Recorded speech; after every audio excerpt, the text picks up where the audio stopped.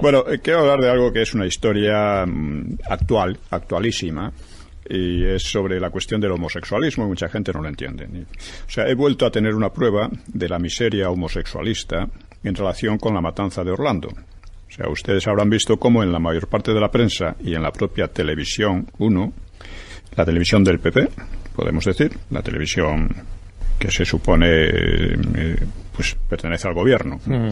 Pues cómo cargaban contra los cristianos de la forma más vil, sembrando algo más que odio, la justificación del asesinato de cristianos. O sea, con una, aquella escopeta con forma, con, la cruz, etcétera, ¿no? Eh, el culpable de la matanza era un islamista que no hacía más que seguir la norma en los países islámicos de asesinar homosexuales. Una conducta en los países islámicos que los homosexualistas de aquí apenas han criticado, como no han criticado el asesinato mucho más frecuente de cristianos en esos países. Curioso, los homosexualistas están muy cerca de Podemos y Podemos eh, eh, recibe dinero de Irán, que es un país en que se hacen estas cosas. ¿no? Sí, que eso es, podría parecer contradictorio, pero... No, es, es así. tampoco han criticado, ya digo, el asesinato de, de, cristianos mucho más frecuentes en esos países, ¿no? O sea, les da igual, su verdadero enemigo es la Iglesia. Señalé esto en Twitter y la respuesta, como siempre, fue una lluvia de insultos, obscenidades, deseos de muerte y exigencias de silenciar por homófobo a quien discrepe de sus tonterías. Repliqué, el homosexualismo es totalitario, contrario a las libertades y asesino en intención. Siempre están, ¿por qué no te mueres? Eh, tenías que estar muerto, cosas así. Sí, yo veo eh, algunas líneas que a usted le dedican cuando contesta, eh, es imposible. Sí, o sea, nada más antidemocrático y peligroso. Y siempre la misma confusión entre homosexualidad y homosexualismo. La homosexualidad es una forma de sexualidad evidentemente desviada, pero se trata simplemente de un problema personal, un problema privado que tienen algunas personas y que cada cual resuelve mejor o peor, como ocurre con mil problemas que afectan a todo el mundo.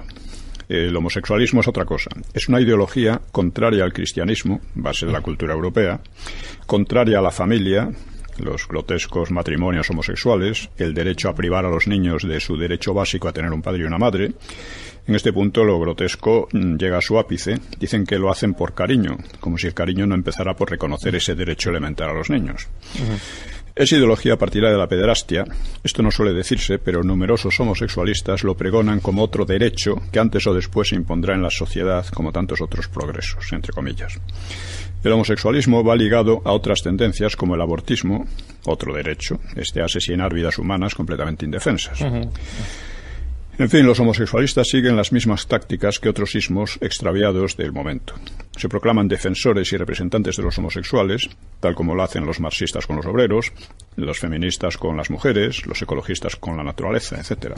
Se trata de una burda usurpación, pero que funciona, lamentablemente. Son manifestaciones de pensamiento histérico. Habría que creer que toda la historia pasada es oscurantista e ilegítima porque no les reconocían sus derechos entre comillas. Por eso insultan, amenazan, piden el silenciamiento y la muerte de quienes discrepen de sus peligrosas eh, estupideces, porque en fondo lo son.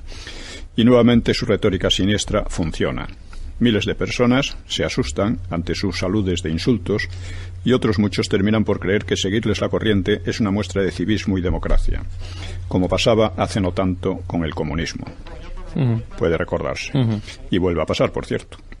El liberal Gregorio Marañón definía la propaganda y acciones del Frente Popular como mentira, estupidez y, y canallería. Y siempre estamos en lo mismo. Este es el, editorial de hoy. Porque ya, eh,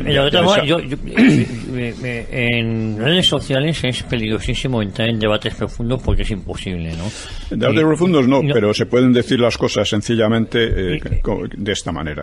Claro, no, no. ¿Eh? Yo le digo, bueno. Lo digo por cómo se descalifica. Claro, ¿no? ustedes están demostrando que ni son demócratas.